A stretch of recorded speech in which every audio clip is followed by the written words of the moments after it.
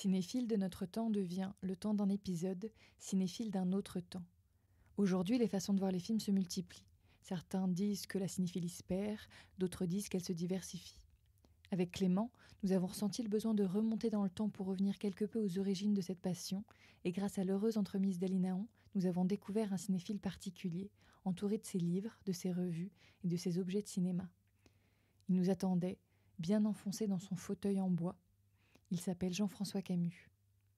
Discret amoureux du cinéma, il a participé durant de longues années à la propagation d'un cinéma public, ouvert à tous, un cinéma militant, un cinéma des grandes politiques publiques d'André Malraux, notamment au travers des maisons des jeunes et de la culture, autrement appelées MJC.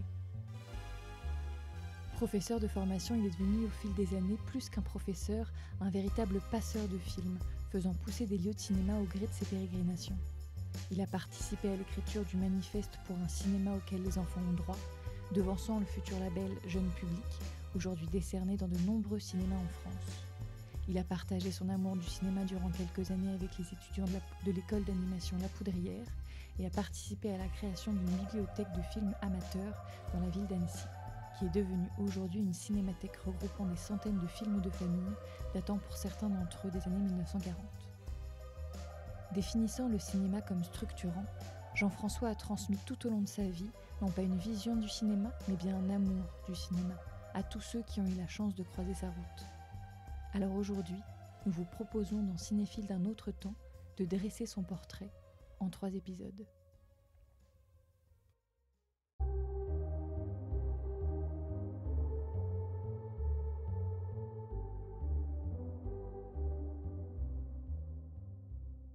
Quelqu'un qui n'a pas beaucoup réfléchi ni écrit sur sa cinéphilie. Et n'empêche que c'est quelque chose de, constant euh, depuis, euh, depuis, euh, depuis 1960. Depuis 1960 C'est-à-dire, c'est à partir de 1960 que vous vous êtes dit. Je me suis pas dit, je me suis pas dit, bah non, non, mais c'est c'est une affiche d'un ciné-club de jeunes mhm. qui se trouve dans une rue euh, près du lieu où j'habite euh, chez mes parents. Je suis sans doute au lycée en, première et dans un cinéma qui se trouve à proximité et programmé le film La chaîne de Stanley Kramer. Et je rentre dans cette salle de cinéma avec euh, un certain nombre de jeunes qui organisent la vie de ce ciné-club. Et à partir de là, euh, j'ai le sentiment que, que plus, plus rien ne s'est arrêté. J'ai participé à la vie de ce ciné-club. Mhm. Ce ciné-club était affilié à une fédération de ciné-clubs qui s'appelait la Fédération française des ciné-clubs de jeunes qui est devenue ensuite la Fédération Jean Vigo des ciné-clubs. J'ai participé à des séances de visionnement, à des, à des stages. J'ai participé à la vie de cette fédération de ciné-clubs. J'ai participé à la création d'un autre ciné-club dans la même euh, ville, qui était Saint-Maur-des-Fossés, une ville qui est à côté de, Créteil, dans une UMJC euh, qui se construisait aussi. J'ai participé à la vie de, des débuts de cette euh, MJC. On a créé aussi un ciné-club dans cette MJC. Voilà, et puis j'ai commencé à découvrir des, des, films euh, dans les rues euh, de Paris, particulièrement bien équipées en salles d'arrêt-essai, comme la rue Champollion, où je continue à aller aujourd'hui très régulièrement, au cinéma Champollion, Reflet Médicis. Euh, Vous aviez quel âge à peu près à cette époque de... Eh ben, j'ai pas encore 18 ans, là. J'ai, euh, je suis né en 43, donc c'est 17, 18 ans quand je, quand je découvre. J'étais allé au cinéma euh, étant enfant, mais accompagné avec mes parents, même mais seul ou avec des, copains, copines mais c'était c'était pas un élément structurant de ma vie. C'est à partir du mouvement. Oui, c'est à partir du moment où je, je m'implique dans la vie d'un ciné-club que, oui, je peux dire que ça devient structurant, même si je pense qu'il doit y avoir des, des, moments de, flottement dans cette, dans cette structure. Mais, mais ensuite, tout, tout s'est enchaîné parce que euh, cette activité du côté de la fédération de ciné-club est quelque chose qui me, me prend. Je participe au conseil d'administration, je participe à des stages. Et puis euh, me vient l'idée d'aller voir ce qui se passe du côté de festivals de cinéma. Et à l'époque, il n'y a pas énormément de choses. Le premier festival qui se présente à moi et qui est d'un accès relativement facile, c'est le festival du court métrage à Tours, où je, vais comme ça pour mon plaisir. À l'époque, après, le lycée, euh, je, deviens instituteur pendant, pendant quelques années. Je suis instituteur pendant quelques années. J'ai le service militaire pendant un certain temps. Et puis, après, je rentre dans une activité professionnelle euh, qui s'appelle assistant jeunesse et éducation populaire. C'est un, corps d'État du ministère de la Jeunesse et des Sports. Et petit à petit, je vais intégrer le cinéma dans, cette activité professionnelle. Pour finalement, au bout du compte, si on arrive à aller jusqu'au jusqu'au bout de l'histoire, pour être quelqu'un euh, qui est conseiller cinéma, payé par le ministère Jeunesse et Sport, pour euh, des activités auprès de, jeunes, d'associations. Bon, ce qui, ce qui m'emmènera euh, euh, vers des, des salles d'arrêt essai qui organisent des festivals, ce qui m'amènera ici à Créteil à travailler avec le Festival de films de femmes de, de mmh. Créteil, ce qui m'amènera à partir à Annecy pour travailler avec les Journées internationales de cinéma d'animation. Et, et, ensuite, pour, pour, dire comment les choses se sont enchaînées jusque-là, puis, puis je, m'arrête euh, provisoirement. Euh, la fin étant la participation à la mise en place d'une école du film d'animation à Valence. C'est la poudrière, c'est ça? La poudrière, voilà. Donc, euh, et là, jusqu'à mon dernier jour d'activité professionnelle, ça s'est déroulé là. Et puis, et puis l'activité professionnelle ayant cessé, j'ai eu tout loisir pour continuer à aller au cinéma. Et ce que je fais encore à, raison, alors non pas de 4-5 films par an, mais, mais euh, au moins 4-5 films par semaine. Et, après avoir eu des expériences que je pourrais vous raconter aussi, de, de, 4-5 films par jour pendant une semaine, j'ai eu des, des temps de, de, visionnement et d'activité cinématographique de, ce type.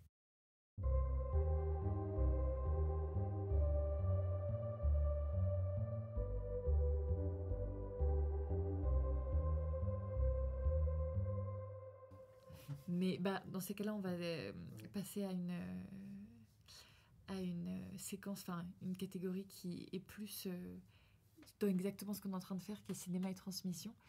Et, et, alors peut-être qu'on va passer à, à, celle où tu m'as donné la réponse. C'était le film pour adultes que tu adores montrer à des enfants. Ah oui. Là, c'est vrai que la question est, est, simple. Parce que, en plus, je crois que je suis le premier à l'avoir fait. D'autres l'ont fait après moi. Mais je pense avoir ici, d'ailleurs, dans, dans, la MJC qui est ici, la Maison pour tous de l'Aïe où il y avait un petit ciné-club pour enfants. Et, et c'est Boudu sauvé des eaux de Jean Renoir. Avec euh, Michel Simon. Michel Simon. Mais moi, je suis très content qu'on parle de ce film parce que euh, on n'en parle pas si souvent, moi, je trouve. Euh, et même, tu es le premier à, nous le suggérer dans, euh, dans l'émission. Oui. Et alors, pourquoi Boudieu sauver des eaux? Bah, À cause du côté gamin de, de, Michel Simon. J'ai pensé, puis je crois que ça s'est confirmé, que les enfants se retrouveraient dans ce côté insolent joueur, euh, euh, refusant celui qui peut être le, père, là, celui qui il est, il, est sauvé par un, libraire des quais de Seine, dont la librairie elle existe toujours, juste à côté de l'Académie française. On voit là où il y a le pont des Arts, mmh. c'est juste là qu'il y a qui a, a, cette librairie qui a été filmée par euh, Jean Renoir. Et, et on voit le pont, le, le, pont des Arts, la passerelle, euh, où sont filmés les moments où Michel Simon est censé être dans l'eau dans, dans, la scène. Donc il y a quelque chose de, d'aventurier dans ce personnage qui met la pagaille dans une, dans une famille, mais il, il y met la pagaille gentiment aussi. Hein. C'est c'est pas comme euh, Pasolini et Théorème. Quoi. non, pas tout à fait, effectivement. Bah, sauf qu'il y a quand même cette relation avec, euh, avec la servante, quand même. Il, est, il, il, va mettre quand même ses mains là où c'est censé être interdit. Quoi. Mais, mais c'est un joueur, c'est joueur. Donc, donc je pense que là aussi, les enfants se, se retrouvent dans, dans, dans, dans, dans, cette manière d'être, dans, dans ce lieu. Alors, bon, il faudrait revoir aujourd'hui, est-ce que, est-ce que le film n'est pas un peu long euh, euh, pour eux mais, mais on avait, quand on a, quand on a écrit le manifeste pour un cinéma auquel les enfants ont droit, puis ensuite, quand il a été créée la commission cinéma de l'Association française de cinéma d'art et d'essai, l'idée c'était de, constituer une cinéphilie à l'intention des enfants aussi. Donc il y, avait évidemment un propos de Nice de Jean Vigo qui était dans, dans cette mais, voilà, aussi Bout du Souvé des eaux. Je pense qu'on en retrouverait d'autres qui appartiennent comme ça à, une histoire euh, de la mémoire du, qui appartient à la mémoire du cinéma. Il y avait ça aussi, pas simplement euh, saisir ce qui est aujourd'hui, il s'offre beaucoup plus de films à la distribution qui peuvent être saisis et, et montrés à des enfants. Encore une fois, quand nous, on a programmé des films à l'intention des enfants, on, ça n'existe pas. Mais oui, il y avait une absence de, disons, de cinémathèque pour les enfants, et même dans la production contemporaine, c'était le, ce qu'on appelait le film de famille, et c'était le film Walt Disney. C'était, c'est la comédie franchouillarde qui, qui faisait objet de, du, du, du, plaisir familial. Nous, il y avait l'idée euh, d'aller dans une cinéphilie pour les enfants. Bon, voilà, donc euh, Boudu sauver des eaux, c'était, c'était une bonne idée. Euh, par, par, les, par, les, personnages, par le réalisateur. on, on s'introduisait vraiment dans l'histoire, l'histoire du cinéma. Transmettre des films pour Jean-François Camus, c'était plus qu'un métier, presque une mission. Pour aller jusqu'au bout de ses idées et transmettre un cinéma exigeant et cinéphile aux enfants, il a co-rédigé en octobre 1977 un manifeste pour un cinéma auquel les enfants ont droit. Il en lit les premières lignes à notre micro. À un moment donné, avec des, un, un collègue et ami de l'équipe cinéma de la Maison de la Culture de Créteil, avec lequel j'avais travaillé pendant plusieurs années, et puis un certain nombre de directeurs de MJC concernés par le cinéma, on a jusqu'à créer un collectif euh, et qui a rédigé un manifeste, manifeste pour un cinéma auquel les enfants ont droit. Et c'était une époque où les salles de cinéma, les parents, les enseignants se contentaient de ce que la distribution commerciale voulait offrir. C'était des, des, des, distractions familiales. Et nous, disons qu'on a introduit euh, de, de, la cinéphilie dans ce désir cinématographique en programmant des films euh, justement plus exigeants du côté des thématiques et, de la réalisation cinématographique. Et ça, cette dimension-là, je l'ai découverte à la Fédération Jean Vigo aussi, puisque dans les films que cette fédération euh, amenait, par exemple de Tchécoslovaquie, il y avait là des films faits avec tous les moyens que peut, dont peut rêver, enfin, dont tous les moyens qui sont nécessaires à, à, la réalisation d'un film, euh, en les destinant à des enfants. Nous, on est intervenu à une époque où les, où les salles d'arrêt d'essai ne se posaient pas le problème de, de, programmation spécifique pour les, pour les enfants. Donc, euh, en, amenant ces titres qui, par ailleurs, étaient, étaient connus, avaient été distribués, et bon, il y en a d'autres qui ne l'étaient moins. Un film comme Soyez bien et les bienvenus, un film, euh, un film soviétique, euh, Sirius, euh, un film tchèque, euh, San Mao, Le Petit Vagabond, c'était des choses qui n'étaient pas distribuées. Rosie et la Grande Ville, un film allemand, c'est justement par l'intermédiaire des fédérations de ciné-clubs que ce film est arrivé ensuite du côté des salles d'arrêt d'essai. Et donc là, il y a la liste de tous les gens qui avaient signé ce manifeste. Et ce manifeste, il avait Il y, avait, une liste d'associations ayant signé le manifeste, là. Donc c'est une affaire qui se déroule en, en 77-78. Et voilà le manifeste, oui, je peux le lire si vous voulez. Il est daté du 17 octobre 1977. Mhm. Vous voulez ah bah, Allez-y. Et ça dit, du 27 janvier au 1er février 1976, s'est tenue à Créteil la première semaine internationale sur le cinéma et les enfants, au cours de laquelle a été inaugurée la semaine cinéma et enfants de l'Association française des cinémas d'arrêt et d'essai, AFCAE. Les enfants dans la vie quotidienne, sont constamment confrontés aux images diffusées par la télévision, publicité, bande dessinée, et ne peuvent y échapper. Dans le domaine du cinéma, le seul choix donné aux enfants à travers ce contexte est généralement la production Walt Disney et, entre guillemets, la cinémathèque rose verte, des films de rigolade et d'aventure. Une entreprise de conditionnement idéologique et artistique uniquement basée sur le profit. Il n'y a pas ou très peu de films français. Les films étrangers sont distribués uniquement par le circuit non commercial. Les enfants ont droit à un cinéma différent. Nous appuyons sur l'exemple de films qui existent à l'étranger.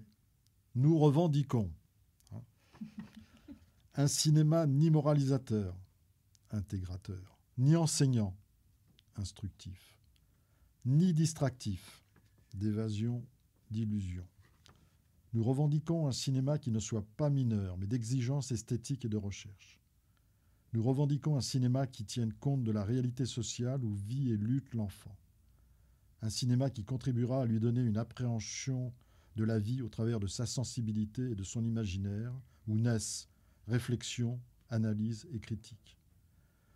Le voir est une activité créatrice. Nous revendiquons un cinéma qui permette à l'enfant d'acquérir une autonomie de comportement dans son environnement social. Nous revendiquons un cinéma spécifique pour les enfants de moins de 10 ans. Reconnaissance de la différence au niveau du développement, du vécu, des intérêts, du statut. Accepter cette différence ne veut pas dire qu'enfants et adultes vivent dans des mondes séparés.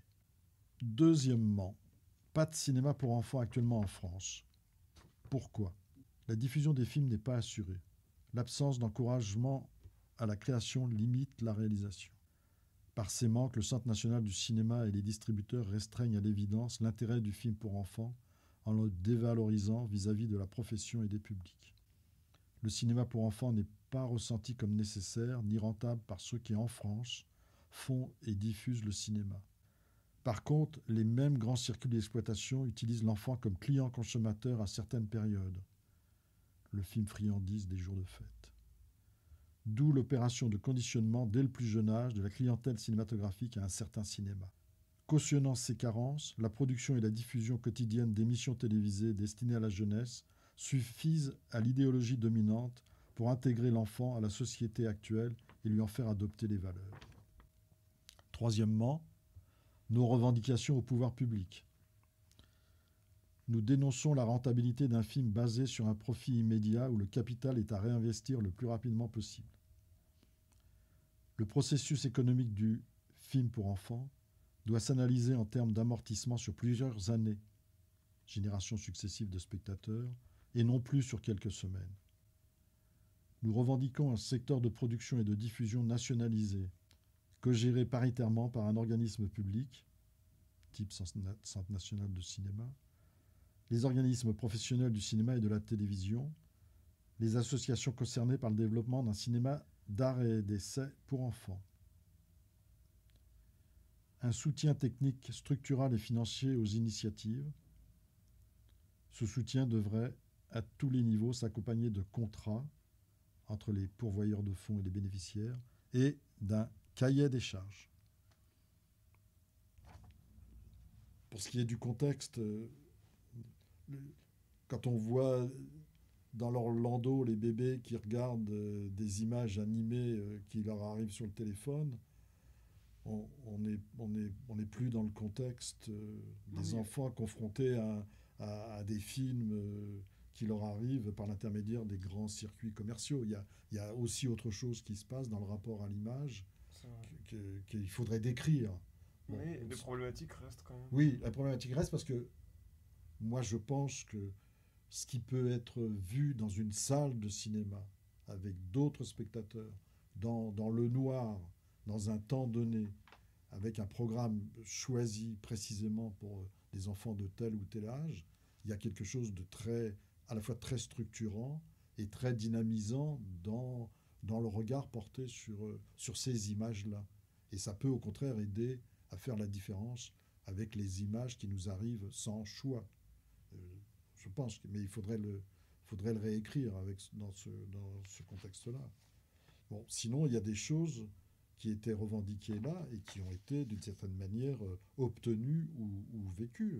Le développement des, des salles associatives, le développement des salles d'arrêt et d'essai qui programment à l'intention des enfants, il y a des choses qui sont passées, y compris du côté des aides. Aujourd'hui, les salles d'arrêt d'essai, certaines ont un label jeune public, ce qui n'existait pas à l'époque. Et ça, c'est suite à, ce, à cette action, euh, c'est créé suite à ça une commission spécifique au sein de l'arrêt essai et qui a euh, contribué à ce que, un, les salles d'arrêt d'essai soient plus attentives à cette programmation, que deux, les pouvoirs publics, et en particulier le CNC, apportent des aides spécifiques à des salles qui se préoccupent d'une programmation de qualité euh, aux, enfants.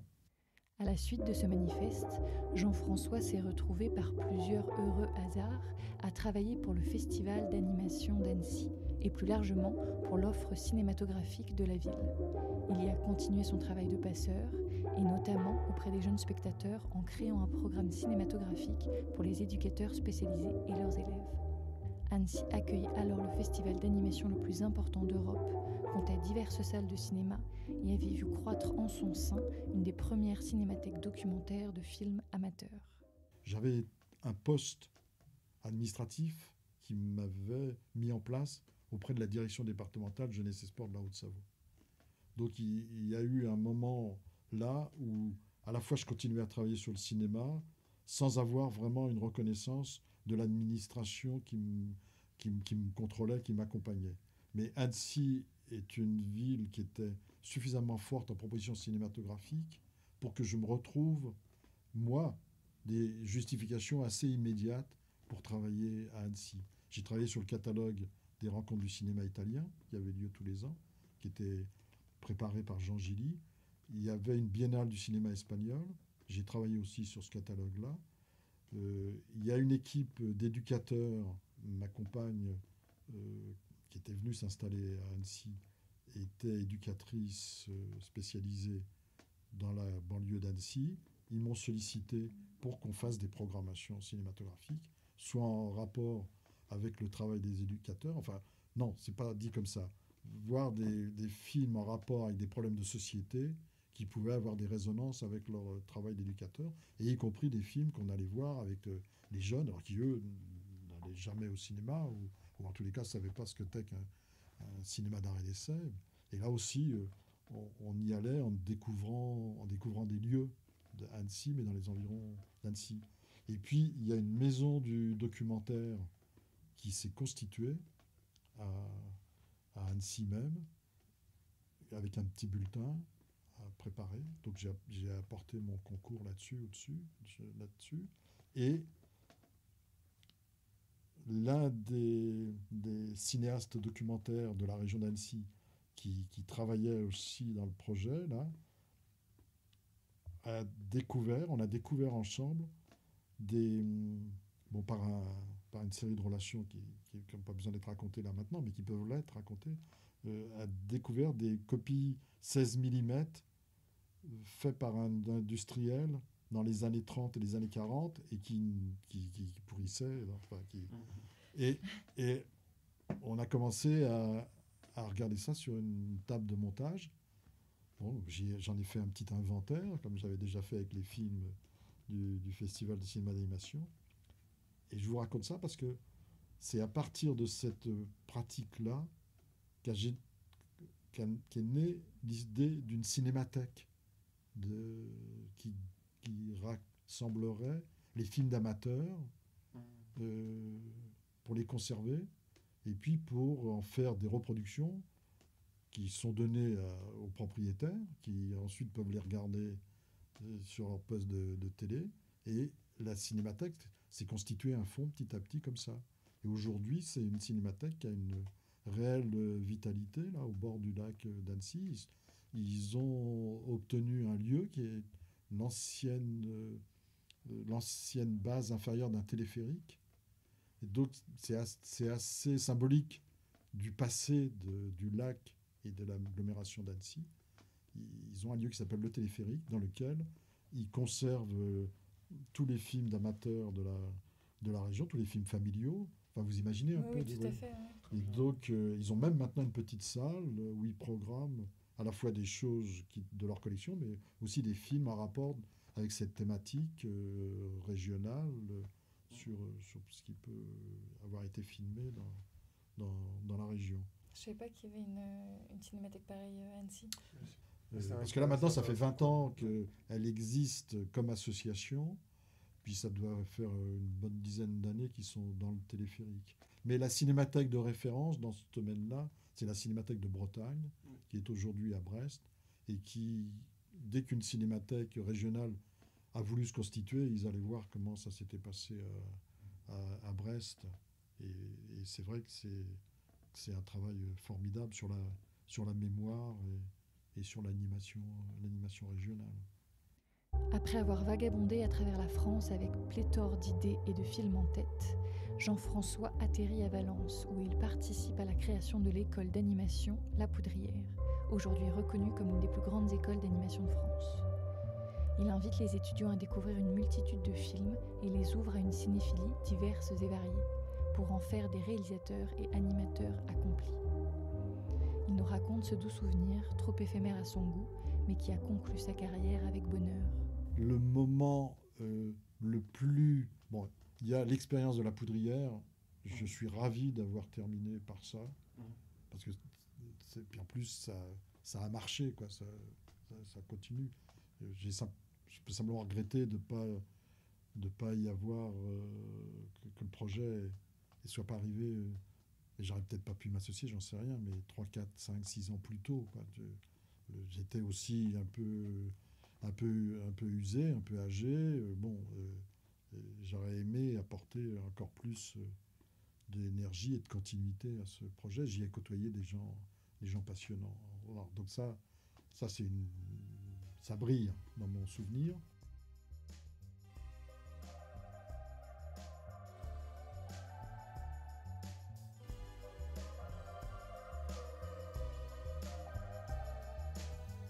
Nous aimerions remercier Jean-François Camus pour s'être prêté au jeu de nos longues interviews, ainsi que Mani qui s'accompagne pour nous avoir ouvert la porte de sa demeure. Un grand merci à Ali Naon qui a fait le lien entre notre invité et nous, et Gabriel Régnier pour ses créations musicales, ainsi qu'Anna Mandico pour ses créations graphiques.